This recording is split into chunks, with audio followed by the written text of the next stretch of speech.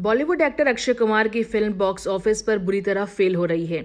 एक के बाद एक लगातार चार फ़िल्मों के फ्लॉप होने के बाद अब एक्टर के करियर पर गहरा संकट मंडरा रहा है। खुद अक्षय कुमार ने इस बात को माना है कि उन्हें अपनी फ़िल्मों में कुछ बदलाव करने की ज़रूरत है, क्योंकि अब ऑडियंस ऐसी फ़िल्में देखना नहीं चाहती है। ऐसे में एक्टर की कुछ सबसे सफल फ़िल्मों में से एक ओएमजी के सीक्वल ओ टू के रिलीज़ पर भी संकट मंडरा रहा है। फ़िल्म के मेकर्स अब ओ टू को सीधा ओटीटी प्लेटफॉर्म पर रिलीज़ करने की बात कर रहे हैं।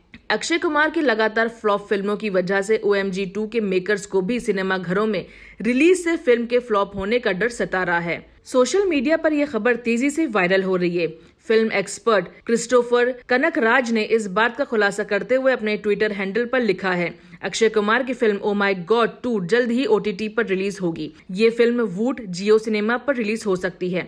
अब सोशल मीडिया पर यह ट्वीट तेज़ी से वायरल हो रहा है। कई फैंस का मानना है कि अक्षय कुमार की ब्रांड वैल्यू पर भी काफ़ी बुरा असर पड़ने वाला है।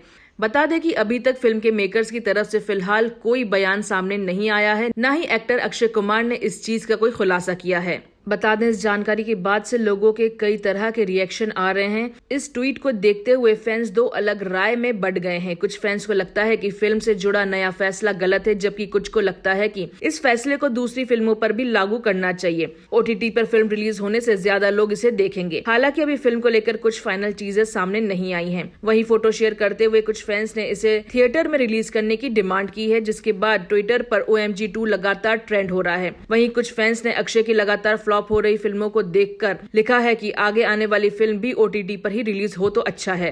अब देखना होगा फ़िल्म को ओटीटी पर रिलीज़ किया जाएगा या फिर से सिनेमा घरों में रिलीज़ होगी। साल 2012 में रिलीज़ हुई फ़िल्म ओ माई गॉड के sequel O my God two को अमित राय ने लिखा और डायरेक्ट किया है। इस फ़िल्म में अक्षय कुमार के साथ पंकज त्रिपाठी, यामी गौतम और अरुण गोविल अहम किरदारों में नज़र आएँगे।